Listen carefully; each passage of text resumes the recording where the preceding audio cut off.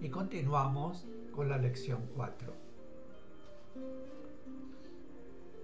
Cuando se trata de una tarea que debe ser realizada ineludiblemente dentro de un término determinado, las fuerzas positivas toman todas las precauciones necesarias para que la tarea, para que la tarea sea realizada. Pero, en los casos de tareas que pueden ser realizadas en este momento o más adelante, si la acción negativa ha perjudicado la materia, no siendo imprescindible, no se defiende esta, sino que se la deja y se toma luego otra en una nueva encarnación. En los casos de enviados superiores que encarnan con la finalidad de ayudar a la desviada humanidad a encaminarse por el sendero que señala la, la divina ley del amor, los ataques negativos contra su persona físico-psíquica constituyen medios que permiten al enviado purificar con su dolor determinadas líneas de la necesidad humana y aligerar así el peso de la carga kármica que ha acumulado la humanidad milenio tras milenio, lo cual facilitará a los hombres la apremiantemente necesaria reacción positiva para poder tomar el camino que les permitirá evitar ser absorbidos por el caos.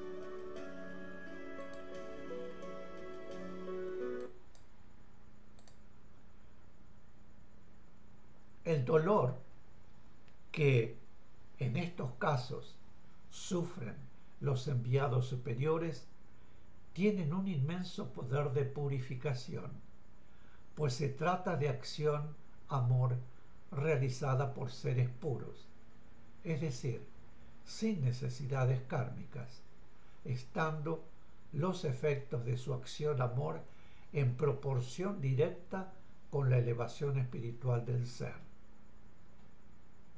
Pregunta.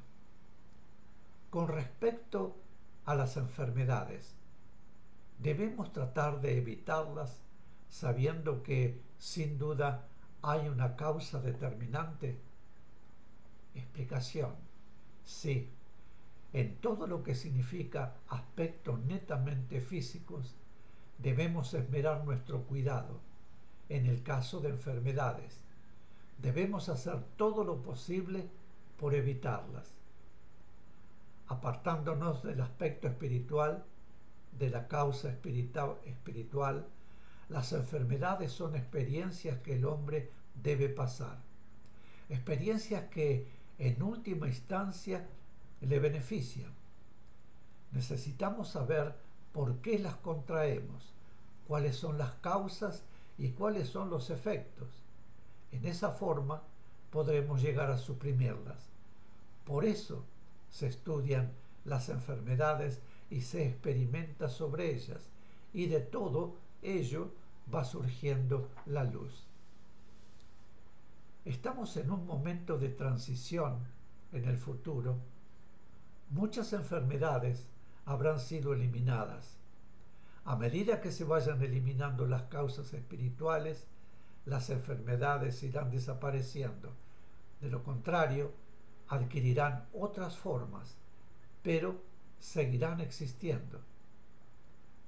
El dolor físico no es una superación que debe lograrse. Pudiendo evitar el dolor físico, el ser está en mejores condiciones para obtener otras superaciones. Es necesario indagar sobre la causa del dolor. Por lo general, el dolor físico es un llamado de atención para que nos preocupemos de cuidar nuestra materia, que, como sabemos, es el instrumento del que dispone nuestro espíritu para poder expresarse y trabajar en los periodos de encarnación. Mis queridos, este es el final de la lección 4, conciencia de vida y conciencia de bien y de mal. Eh, ahora, antes de retirarme, eh, los dejo con la invocación del amor.